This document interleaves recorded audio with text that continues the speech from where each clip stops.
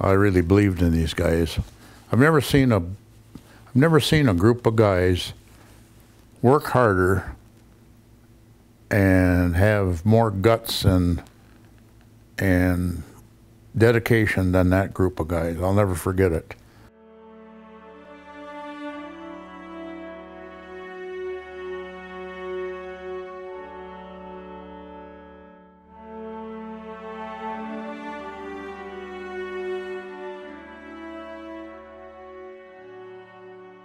Uh, the spring of 66, I was called in by the superintendent. He told me he would like to put me in charge of as head coach of the football team.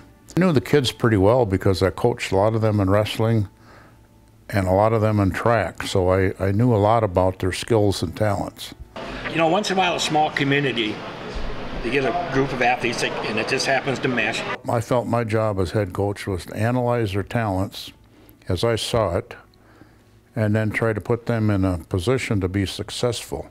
You know, we really like Coach Freimark, and it, we just, the decision was made prior to practice ever starting that we were going to do well. So then I studied football offenses. Had some books. I remember reading the book The Run and Shoot. And then I read another book called The Swing End Offense that I thought was a better fit for, for the talent that we had. As it turned out, it really was.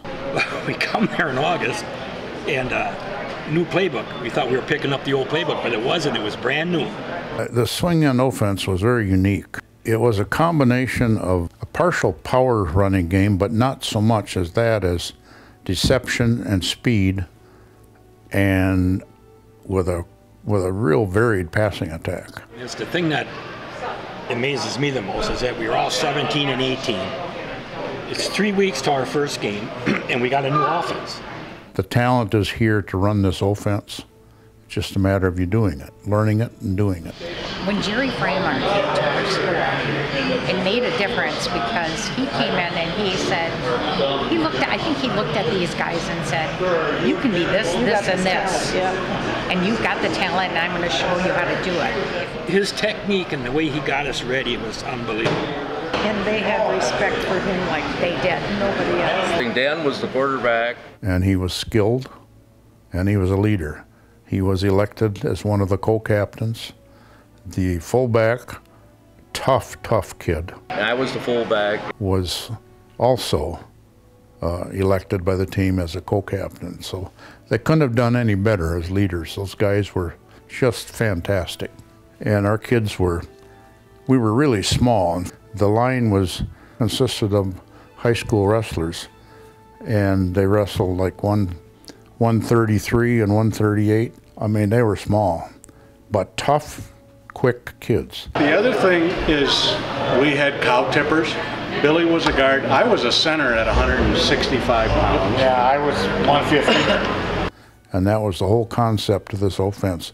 Hit quick, you didn't have to hold the block real long because the attack was fast. But we could get to the cow faster and just move the cow enough to that people like Johnny Bauer just had a cakewalk. Of course, he kind of threw the fear of God into everybody. They also knew that as a coach, I demanded a lot out of them in terms of physical conditioning. We had no idea how freaking demanding he was going to be. The fact that we were very small, I knew that our team needed to be in better shape than any opponent that we'd run into. When we came here in August, we he started getting us in shape. He said we're never going to lose a game because we're out of shape, and we didn't. Because that was my philosophy. I was demanding, and to win, you need you need to have dedicated players that that uh, will, will get the job done. He, he's a motivator. He's a dynamite motivator because he could get you to play. And to get the job done, you have to be in shape, and you have to believe it, and you have to do it. And there, there was no other school around that was as good in condition as what Jerry's team was, I'll tell you that. But the thing that I thought that got us is running that hill. At the end of the day after practice, they they had to run a they had to run a course kind of going up the hillside. After practice, there's a hill Oh my God. Yeah, wind sprints up a hill, yeah, hadn't been done before at CFC. I think, you know, like even in, in, in most of the games, the second half, we always outlasted the other team. Swing end offense, you huddled five yards, and you didn't walk up to the line, you ran to, up to the line. The whole concept was you don't give the defense time to adjust. You keep attacking and attacking and attacking. We took everybody by surprise the first few weeks, and then you couldn't drive in that parking lot. And our kids really, really accepted that challenge, and they did it well. The game started, and three or four plays later, we had scored a quick touchdown on them. And we won our first game. It was a great way to start the season. The third game of the year set the tone. I knew after our third game, we're somebody to deal with. I think they believed in me and believed that we could win. Because we beat two good teams. We beat Whitehall, then we beat Leeville. The linemen were almost as quick as the backs.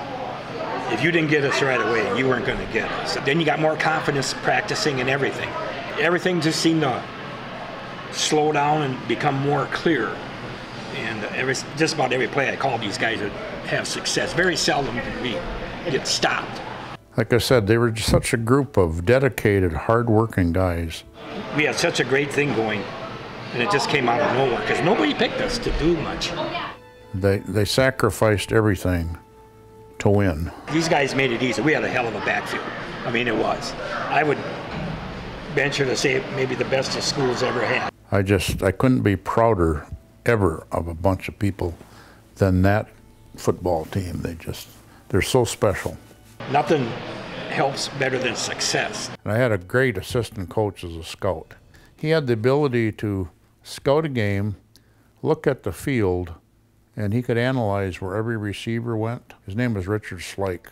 Our defensive linemen, many of them were in the backfield as fast as the ball was. You got a, you got a new coach, a new offense, you got a whole bunch of kids that want to succeed. I mean, it just, everything fell together. Our kids were quick and tough and scrappy and just hard-nosed, tough, tough kids. I think there there always was more than one player that could come up to bat and, and, and handle it. The better we did and the more we won, the more they believed. Kids nowadays don't have what we had years ago. We had fan buses that were packed. And the more they believed, the better we got. And the more I could demand and the harder they worked. The camaraderie and spirit that we had at that time, I have not seen in my children and my grandchildren's era. I think as, as the season went along, I think everybody just really started believing in each other. Yeah, You know, as it went on, I think people just really didn't want to let their teammates down. They didn't want. They just, you know, kept building momentum as the season went along. They never got cocky. Uh, they remained humble.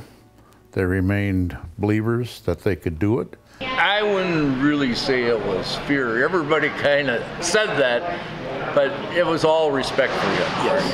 That's what it was. It- They just stayed dedicated game after game, week after week. He was a no-nonsense guy. I would say too, it wasn't fear. It was high respect, and I think the one thing we feared if we did anything was losing for him. He put so much into this. We, we, we just couldn't fathom losing. But the fans were, the fans Oh, were fantastic, and fans I think packed. the cheerleaders made, made the difference because I think that we kept the crowd going. Everybody was a part.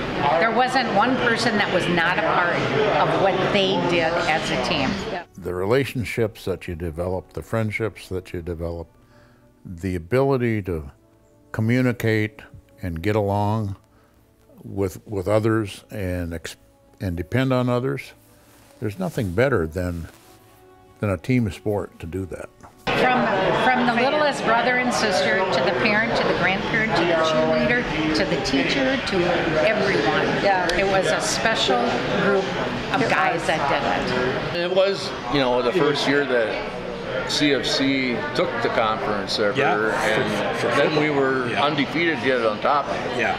The highlight, though, of that whole season was the last game of the year when that team picked me up on their shoulders and carried me back to the school after winning that game and going undefeated. It, it's something that I wish kids nowadays had a chance to experience. It was quite a ride. I'll never forget it, I'll tell you that. The whole thing, this whole thing that happened was because of him. They went on in life and became very successful. His philosophy has hung with us. You know, he's tough, no nonsense, and never give up. That was the thing. So I've used that during my life. That, that attitude. He's the one that instilled it in us. Wow, what a group of guys that was. So proud of them and what they did and did then and did in life. And it didn't surprise me that they did well. I knew they would. A guy takes a hold of a group of kids, shapes them, molds them, turns them loose, and they succeed. That's that's us in a nutshell. So proud of you and thank you so much for everything you did. 55 years later, still congratulations.